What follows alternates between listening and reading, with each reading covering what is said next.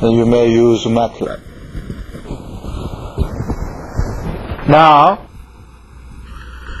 we move on to how to apply, how to use the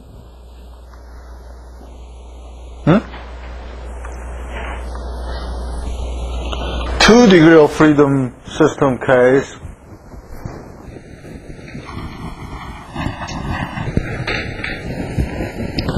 application area of two degree of freedom system case.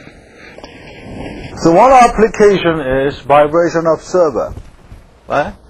I briefly explained what we learned in the, in, the, in, the, first half of the last lecture.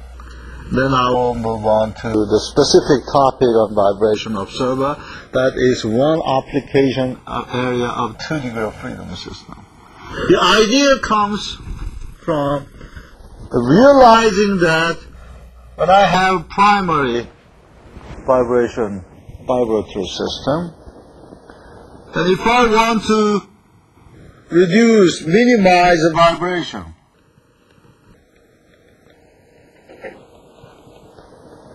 and how to do it, how to do it, then what I can think is if I transport or if I dissipate the energy that I had to experience to somebody else. Right? I'm vibrating now, but if I touch you, then you are vibrating. I'm okay, right? That will be nice because I am giving you the vibration energy, therefore I will not vibrate. So that's the idea. So, we introduce the secondary vibratory system. Okay? And if you think physically, then the frequency of this secondary vibratory system has to be because this secondary vibratory system has natural frequency that should be square root of Ka divided by Ma.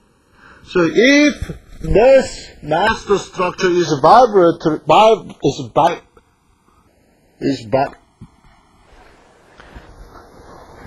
is vibrating, okay, is vibrating with the frequency of secondary system's natural frequency, then what happens? Because it has a resonance, meaning that it has theoretically infinite energy, therefore, the, all the vibration energy will transport to the secondary system and it, it will remain still, not moving. Okay?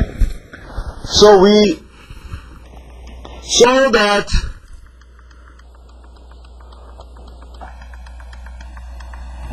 using mathematical expression, neglecting any damping, because we have to start with the simplest case.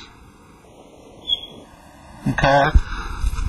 This is analogous with single degree of freedom case mx double dot kx is equal to f. Okay. Instead of, uh, of having scalar mk, we have matrix m, k, and the vector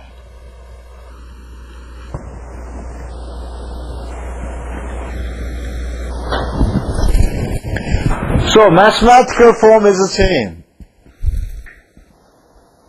But this is matrix. Okay? And then we solve this. How? Similarly, similar technique we had for the single degree of freedom system. Okay? The only difference is that you have to solve this, meaning that the solution of this is something divided by the determinant of this to get the non-trivial solution. Determinant of this is simply multiplying this element and this element and uh, minus this element and this element. Therefore, what we have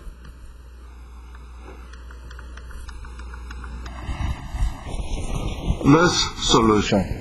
The displacement of master structure is influenced by many things.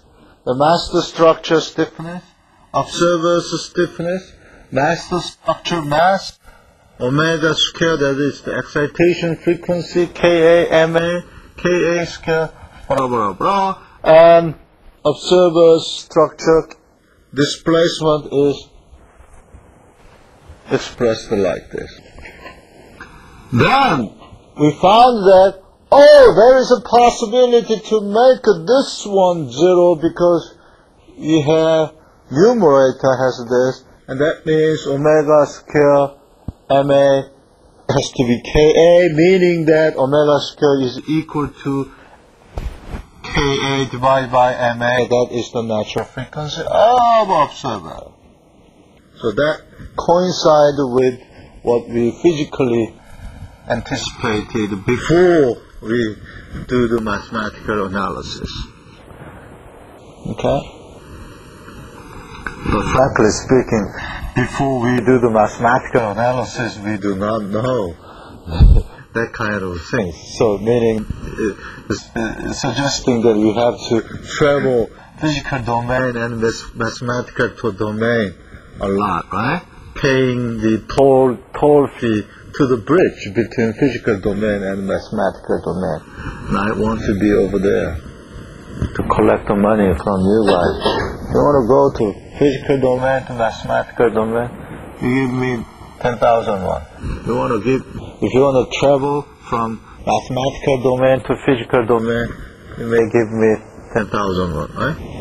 That is the uh, very fancy way to be a rich man.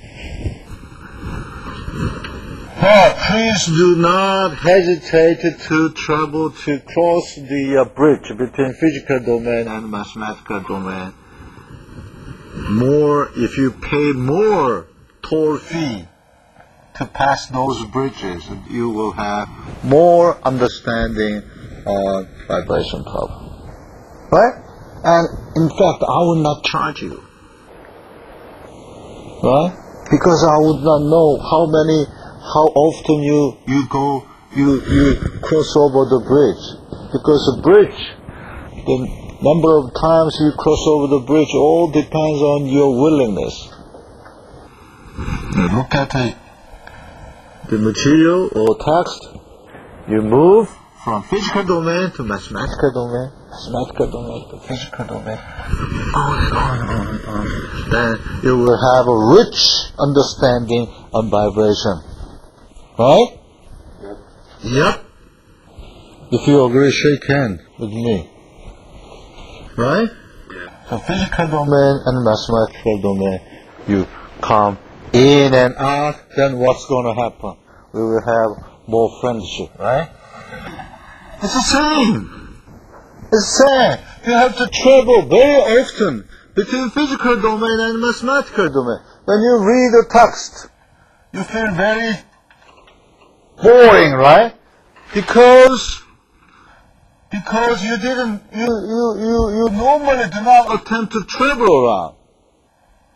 And then another territory is application domain, design domain.